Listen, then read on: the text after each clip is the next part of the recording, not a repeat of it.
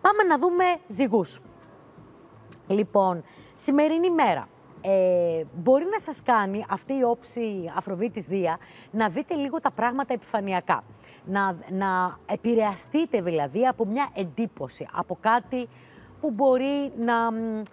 να σας φαίνεται πολύ ωραίο ή από κάποιον κάποια που μπορεί να σας λέει κάτι πολύ ωραίο, αλλά αν δεν ψάξετε λίγο πιο πολύ στο βάθος των πραγμάτων, δεν θα έχετε σαφή και πλήρη εικόνα για το τι ακριβώς συμβαίνει. Σημερινή μέρα λοιπόν, τόσο η σελήνη που είναι στον εγώ και είπαμε ότι είναι ανάμεσα σε κρόνο και πλούτονα,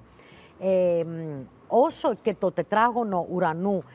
με τον ήλιο, λένε ότι δεν θα πρέπει να μείνετε στην επιφάνεια,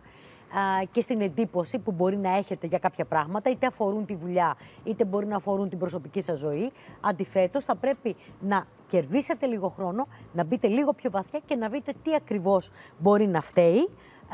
ή αν όντως αυτή η αίσθηση που είχατε ε, ή αυτός ο εντυπωσιασμός υπήρχε λόγος όντως να υπάρχει στη ζωή σας. Πέρα από αυτό, είναι και για σας μία ζώρικη μέρα η σημερινή, όπως είναι ως ένα βαθμό και η αυριανή, με την έννοια των πολλών υποχρεώσεων, των πολλών ευθυνών, όχι μόνο σε επίπεδο δουλειάς, αλλά και σε επίπεδο σπιτιού, οικογένειας και ανθρώπων που απαρτίζουν το οικογενειακό σας περιβάλλον.